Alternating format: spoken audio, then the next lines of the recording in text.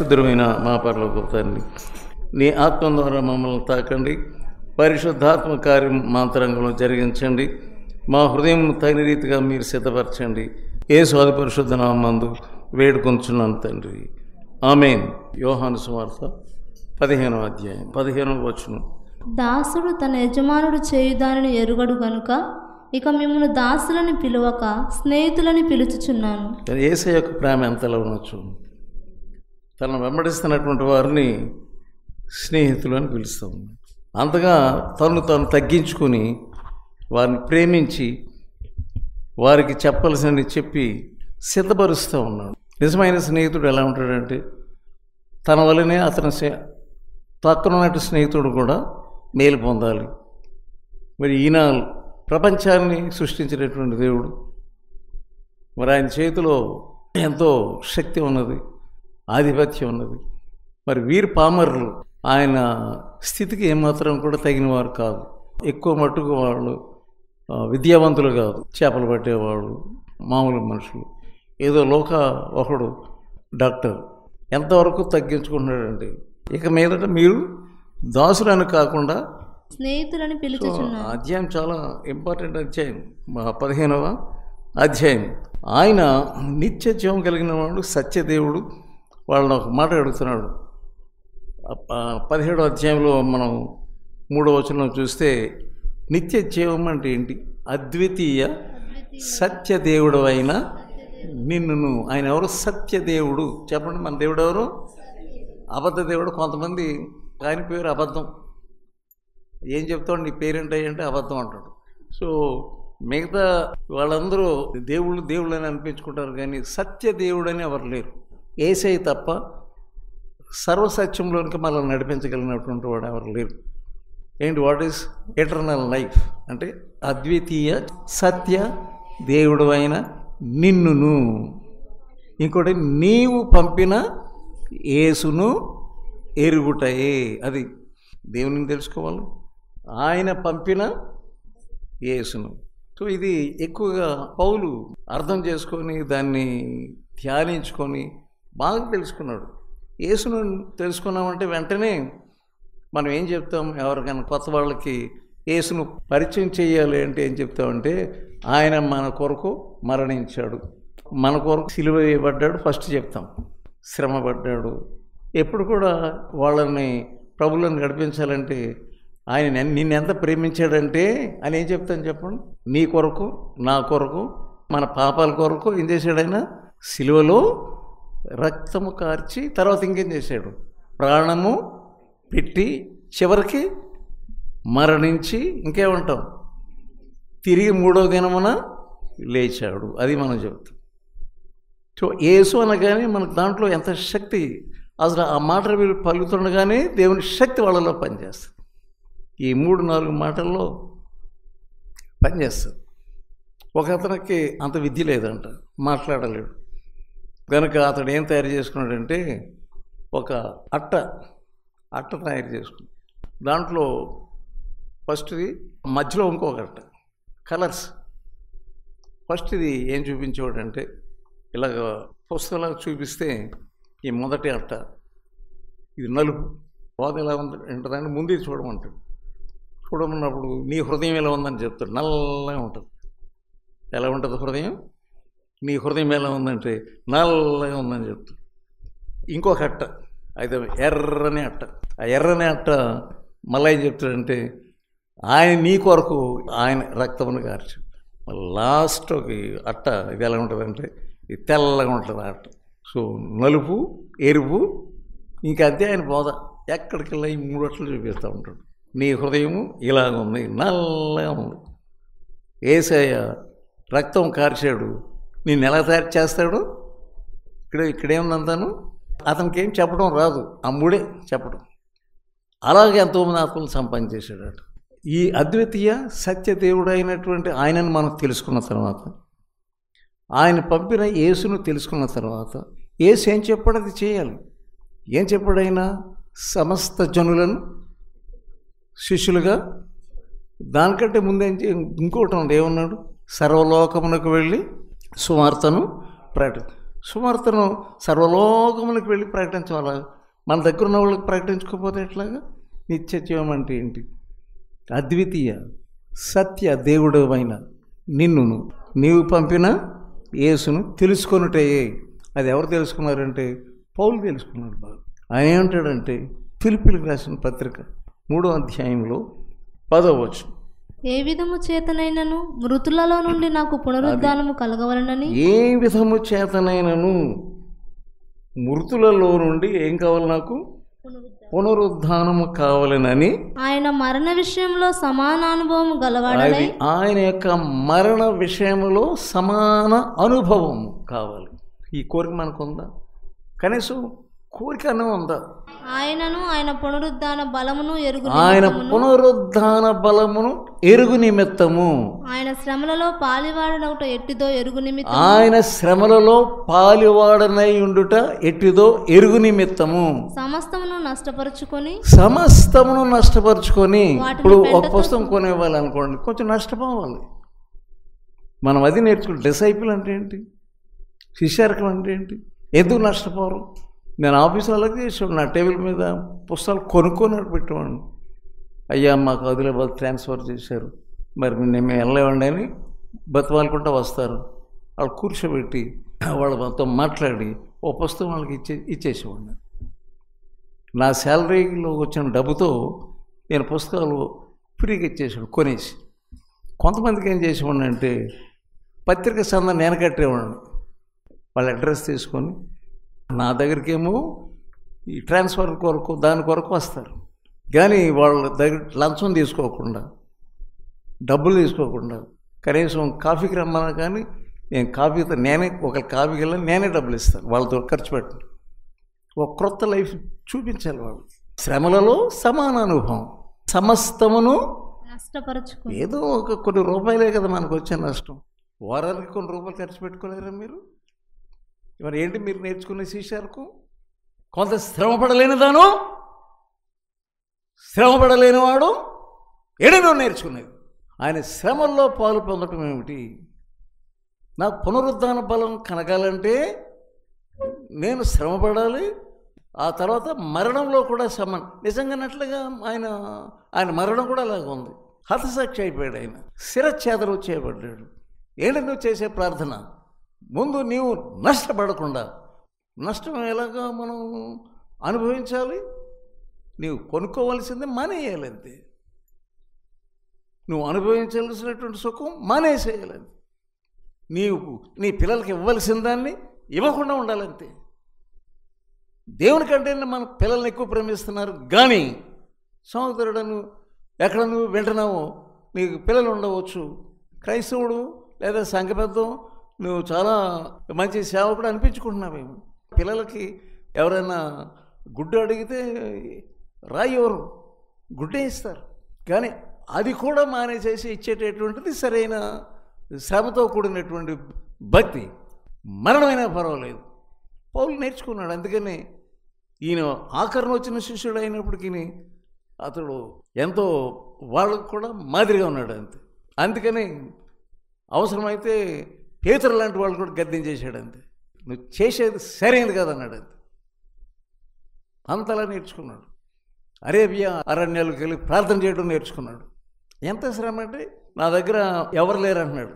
ఒక టైం వచ్చింది ఆ టైంలో అందరు నన్ను అందరూ విడిచిపెట్టి వెళ్ళిపోయారు అంతే. లోక ఒక్కడే ఉన్నాడు నా దగ్గర. అంత శ్రమ అనిపించాడు ఎప్పుడు? అతను ఎవరో ఒకళ్ళు వచ్చి ఆదరించాలి. ఆదరించవలసిన సమయంలో ఎవరు లేరు అక్కడ. సుందర్ సింగ్ని గురించి మనం చూస్తున్నాం. కొన్ని వందల ఎకరాలు ఉన్నాయి వాళ్ళ తండ్రి యొక్క ఆస్తి.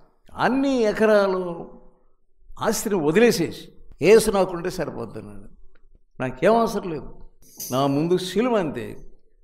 ఇంట్లో త్రోసేశారు అయినప్పుడు దేవుడు అతను కాపాడాడు. ఎవరికైనా వాక్యం చెప్తే కొన్ని స్థలాలు కొట్టేసేవారు. చచ్చిపోయాడు అనుకున్నారు. అయినప్పటికీ నేను అలా రక్తాలతో మళ్ళీ అక్కడికి వెళ్ళి సేవ చేసేవాడు. సమాన అనుభవం అంటే ఏంటి? అతను ఒక చోట బావులు వేసేసారు. అంటే శవాలు ఉన్న బావులు వేసేసారు. అంత వాసనే కంపు బాగా భయంకరమైన కంపు. దేవుడు బావిలోంచి ఒక దూతను పంపించి బయటికి లాగాడు. మరలా వీళ్ళు బాగు అలా బావులు వేసేసినా కానీ ఆ బావికి తాళం వేసేసినా కానీ ఆ తాళం అక్కడ లామా చేతిలో ఉందంట టిబెట్లో. అయినా కానీ వెళ్ళి సేవ చేశాడు. కొంచెం కష్టమైతే బాబైనా కష్టం వచ్చేసిందంట శ్రమల్లో మనం ఆనందించడం నేర్చుకోవాలి. శ్రమల్లో సేవ చేయటం నేర్చుకోవాలి. ఎక్కడికెళ్ళి నువ్వు సే- ఏ శ్రమ పడి ఏ ఊరు వెళ్ళి ఎవరికి సా సాక్షి చెప్తున్నావు? నువ్వు ఎవరికి వాక్యం చెప్తున్నావు? నీవే శిష్యురాలు కాకుండా ఎవరిని శిష్యులుగా తయారు చేద్దాం అనుకుంటున్నావు? సర్వలోకంలోకి వెళ్ళి సువార్తను ప్రకటించాలంటే ఏం చేస్తారు? పక్కన ఉన్న వాళ్ళకి చెప్ప చెప్పడానికి మీకు కష్టమైపోతుంది ఇప్పటివరకు శ్రమ పడ్డాను ఇంకేం శ్రమ పడాలని అంటావు నువ్వు? సైతం పట్టుకుంటూ చీకటి శక్తి నిన్ను పట్టుకుంటా ఉంది. రోమ ఎనిమిదో అధ్యాయం ఇరవై తొమ్మిదో వచనం.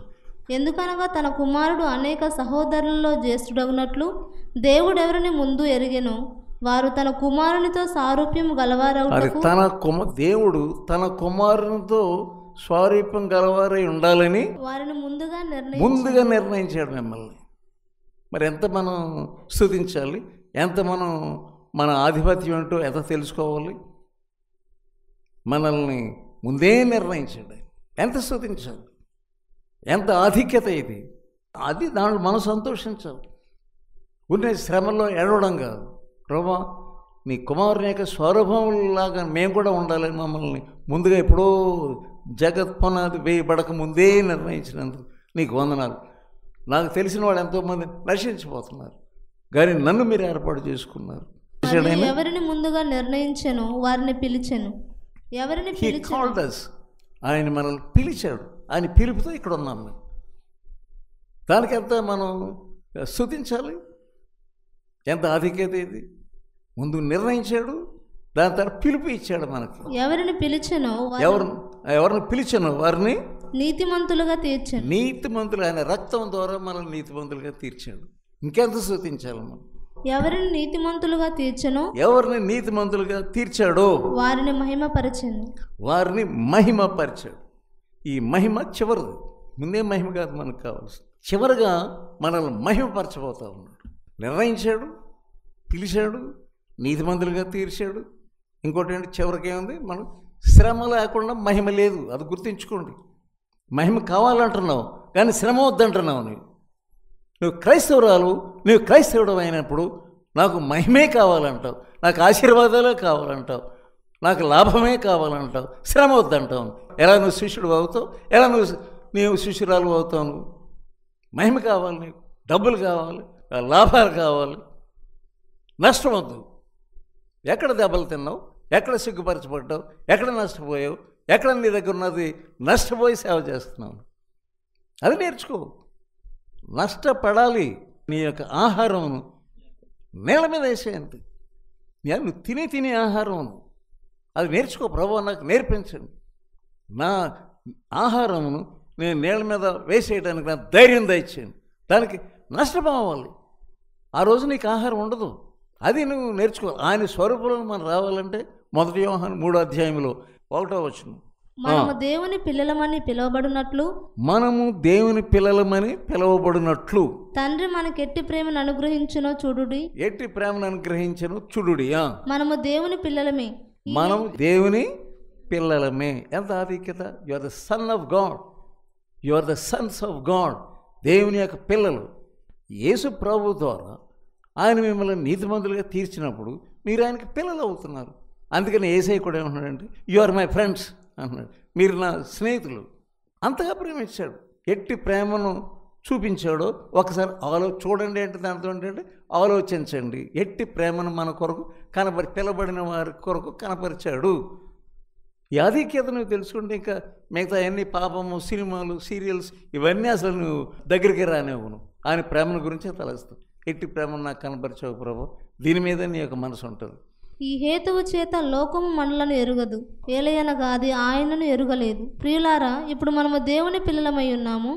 మనం ఇక ఏమవుదామో అది ఇంకా ప్రత్యక్షపరచబడలేదు ఏమవుతామో ఇంకా ప్రత్యక్షపరచబడలేదు. రైట్ ఆయన ప్రత్యక్షమైనప్పుడు ఆయన ఉన్నట్లుగానే ఆయనను చూసి ఎప్పుడైతే ఆయన ప్రత్యక్షమవుతాడో ఏసై వస్తాడో ఆయన ఉన్నట్లుగానే మనము ఉండాలి. దానికి గాను దాని తర్వాత వచనం చూద్దాం.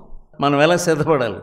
ఆయన యందు ఈ నిరీక్షణ పెట్టుకున్న ప్రతివాడును? ఆయన యందు నిరీక్షణ పెట్టుకొనిన ప్రతి వాడును ఆయన ఉన్నట్టుగానే మనం ఉండాలి. ఆయన ఉన్నట్టుగా? ప్రత్యక్షమైపోయాడు. వెళ్ళిపోతాం అనుకుంటారా మీరు? వెంటనే you have to be transformed వెంటనే మారిపోవాలి. అలా మారకపోతే నీ పరిశున్నం అయిపోయిందన్నమాట ఇంక నువ్వు విడిచిపెట్టబడతావు. సోదరుడా ఈ వాక్యం వెంటనే నీవు ఆయన ప్రత్యక్షమైనప్పుడు ఆయన వలె మారుతావా నీవు పౌలు ఎంత ధైర్యంగా చెప్తున్నాడు? ఆయన పునరుద్ధాన బలమును ఎరుగు నిమిత్తం సమస్తమును నష్టం కాదు. కొంచెం నష్టం కాదు సగం నష్టం కాదు పావు నష్టం కాదు. సమస్తం నష్టం పరచుకోగలవా? నీకు వచ్చిందంతా నష్టపరిచేసుకోగలవా నువ్వు? మరి ఆయన ప్రేమిస్తున్నాను ప్రేమిస్తున్నాను చెప్పి ప్రయోజనం ఏమిటి? అప్పుడు ఆయన వలె మారుతావు.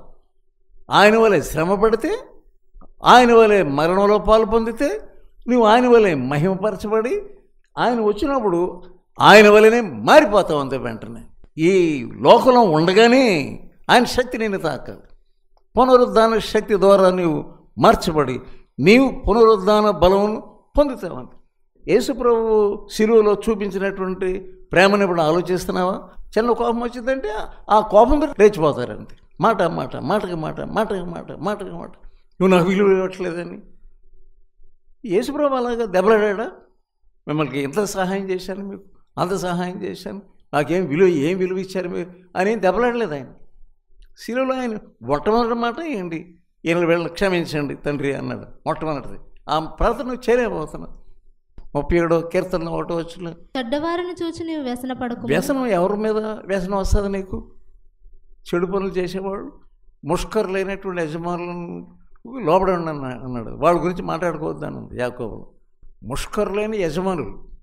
అంటే డబ్బులు ఎవరు వాడు రోజంతా పని చేసుకుంటారు. రే రెండు రోజులు మూడు రోజులు నాలుగు రోజులు డబ్బులు ఇవ్వమంటే ఎవరు?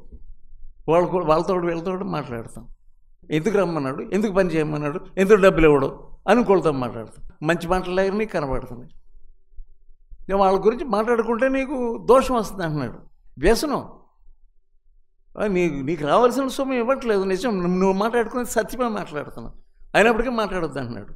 వాళ్ళ గురించి మాట్లాడొద్దు. నీ విషయంలో తప్పు చేస్తున్న వాళ్ళ గురించి నువ్వు రహస్యంగా మాట్లాడవద్దు. మూడో వచనం ఉంది యహోవయందు నమ్మకించి అది నమ్మకించి అంతే. ఆయన నిన్ను కాలుస్తున్నాడు. కాలుస్తున్నాడు కనుక నువ్వు తప్పకుండా అనుభవించాలి. ఆ కాల్పును అనుభవిస్తేనే పరిశుద్ధపరచబడదు. నువ్వు నష్టపోతే పరిశుద్ధపరచబడదు. ఎప్పుడు పరిశుద్ధపరచబడట్లేదంటే నీకు వచ్చిన నష్టం గురించి అనవసరంగా చర్చించుకుంటున్నావు. మీ అత్తమ్మ గురించో మామగారి గురించో పక్క వాళ్ళ గురించో చర్చించి వాళ్ళతో మాట్లా వాళ్ళ గురించి మాట్లాడి మాట్లాడి మాట్లాడి నువ్వు పరిశుద్ధపరచబడటం అనేటువంటిది ఆపేసుకుంటున్నావు. నువ్వు పరిశుద్ధపరచబడాలంటే వాళ్ళు చేస్తున్నట్టు అన్యాయం గురించి నువ్వు సంతోషించి గంతులు వేయండి అని వాక్యం వాళ్ళని తిడుతున్నారు. పది మందితో తిట్టేస్తున్నారు. నువ్వు సంతోషించు. వాళ్ళు ఇలా చేస్తున్నారు? వీళ్ళు అలా చేసేస్తున్నారు? అది న్యాయమా? ఊరంతా చెప్పుకోవటం ఎందుకు? వీళ్ళకి చెప్పి వాళ్ళకి చెప్పి పలానా ఆయన నాకు అన్యాయం చేసేసాడు. నువ్వు పరిశుద్ధపరచబడవు నువ్వు. దావీదు ఎలా పరిశుద్ధపరచబడ్డాడు? సౌలేమో ఇష్టానుసారంగా మాట్లాడటం తర్వాత చంపేయాలని చూడటం ఆ సౌలను చంపాల్సి వచ్చిన సమయం వచ్చేటప్పటికి ప్రేమ చూపించాడు అక్కడ. చంపాల్సి వచ్చిన సమయం వచ్చింది. ఒక దెబ్బతో చంపేయచ్చు సౌల్ని. చంపేవాళ్ళని రెండు చేతులు అడ్డు అడ్డుపెట్టి దయచేసి చంపొద్దు అంటున్నాడు. ఇంకోటి ఏమంటున్నాడు? యహోవ చేత అభిషేకించబడినటువంటి వాడిని యొక్క వస్త్రం కోసినందుకు అతను చాలా నొచ్చుకున్నాడు ఏడ్చాడు. క్రీస్తు యొక్క స్వభావం చూపించాడు. ఆయనే రాస్తున్నాడు ఆ కీర్తన. ఆ అనుభవంతో రాస్తున్నాడు ఆయన. ఎవరైనా చిన్న మాట అంటే కోపం వచ్చేస్తుంది అంతే. ఎందుకు నీ కోపం రావాలి? కోపం సుఖ నివాసం వాళ్ళ హృదయంలో చేస్తుంది. నీ లోపల హృదయంలో కోపము సుఖంగా ఉంటుంది. అవసరం వచ్చినప్పుడు పైకి వస్తుంది. నేను ఉన్నానని. ఎందుకు కోపం రావాలి నీకు?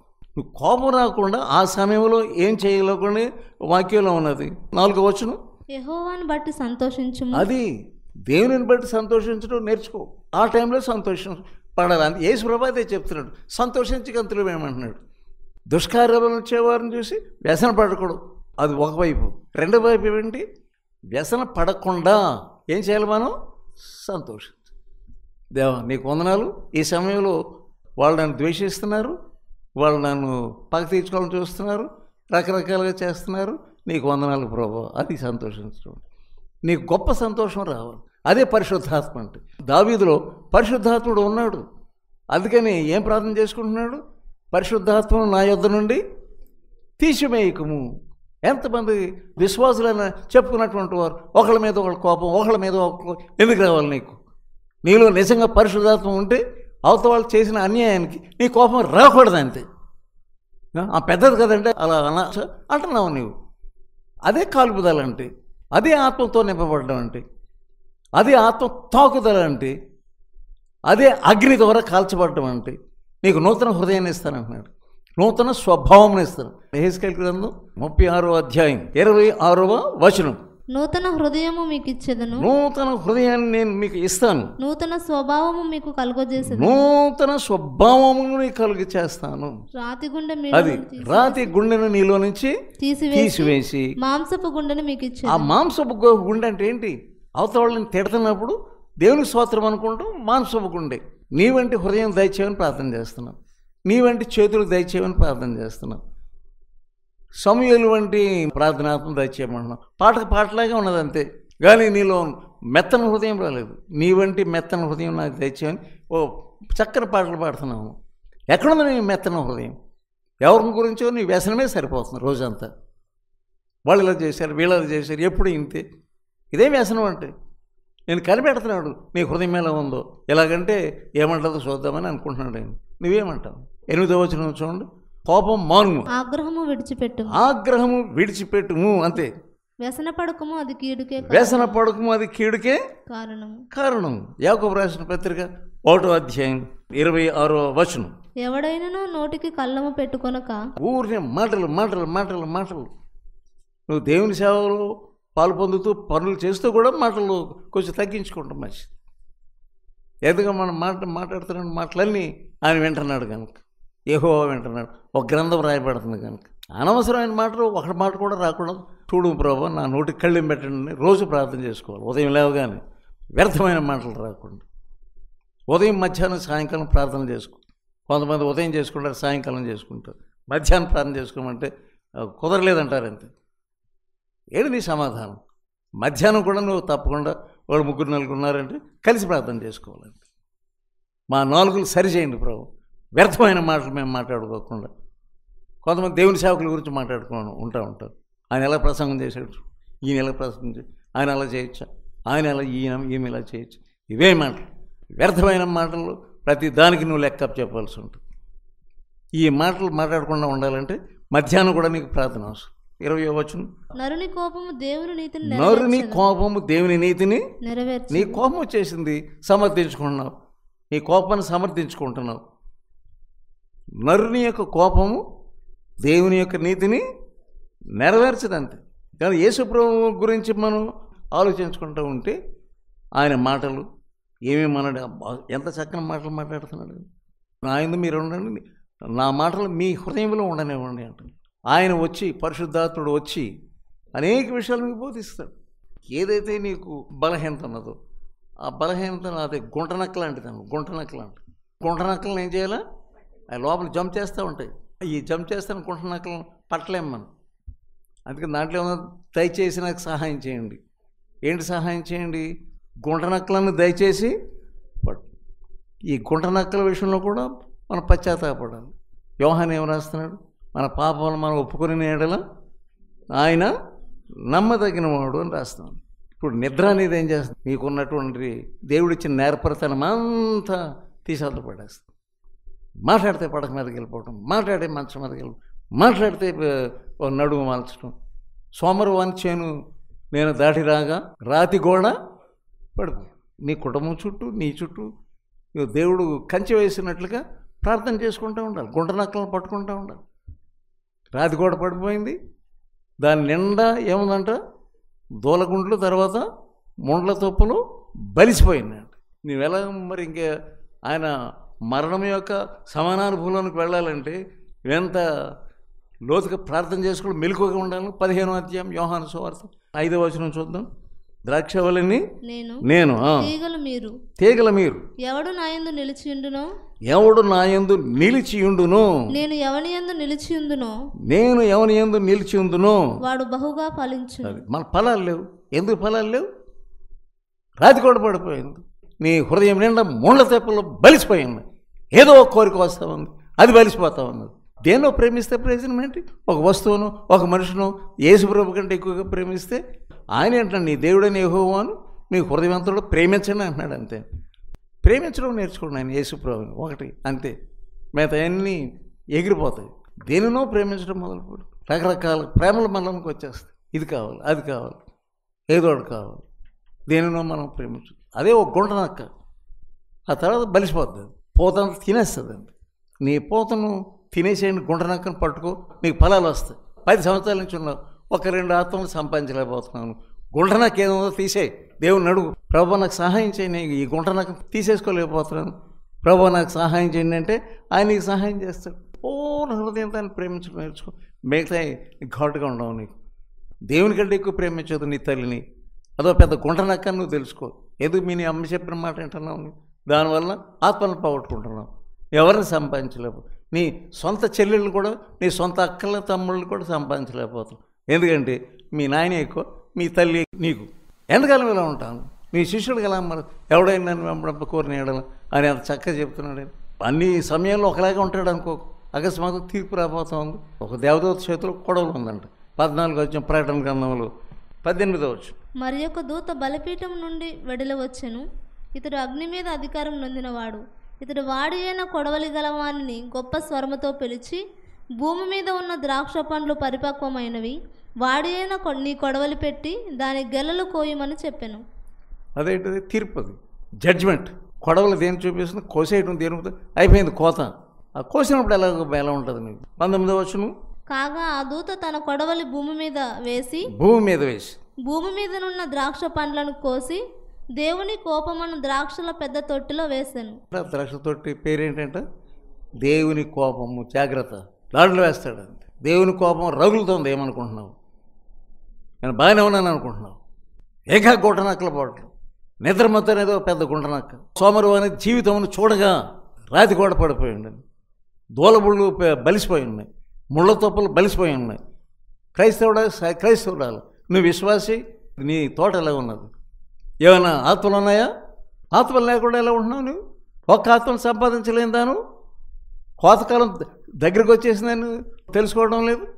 సహోదరు ఆత్మలు మనకు కావాలి. ఎక్కడున్న ఫలాలు? ఫలింపని ప్రతి తీగను ఏం చేస్తానంటున్నాడు ఆయన? నరికి వేస్తాడు. నా ఆయన నిలిచి ఉండండి అంటున్నాడు. వాక్యం నీరు మీలో ఉండనివ్వండి. నిజంగా దేవుని కొరకు జీవించడం నేర్చుకోండి. ఓపికతో ఫలించు అనే పుస్తకాన్ని చదివి అనేకులు మేలు పొందుచున్నారు. ప్రతి ఒక్కరూ తప్పక చదవాల్సిన పుస్తకం. ఈ పుస్తకాన్ని చదువుతున్నప్పుడే పరిశుద్ధాత్మ శక్తి బలంగా మీపైన పనిచేస్తుంది. ఈ ఆధ్యాత్మిక పుస్తకం కొరకై వెంటనే మమ్ములను సంప్రదించండి. సమర్పణ పత్రిక. ఈ పత్రిక మిమ్ములను సూక్ష్మంగా పరిశీలించి దైవవాక్యాన్ని అందించి మీ జీవితంలో విశ్వాసం యొక్క అవసరతను తెలియజేస్తుంది. ఈ పత్రిక చదివిన కొందరు రక్షణ పొందడమే కాక దైవ సేవలో కూడా పాల్పొందుచున్నారు. మరెన్నో ఆధ్యాత్మిక పుస్తకములు మీ కొరకు సిద్ధంగా ఉన్నవి. మా చిరునామా బి. ముఖర్జీ సమర్పణ మినిస్ట్రీస్ చిన్నగొలపాలెం వయా ముగుల్తూరు పశ్చిమ గోదావరి జిల్లా. Pin code five three four two eight one.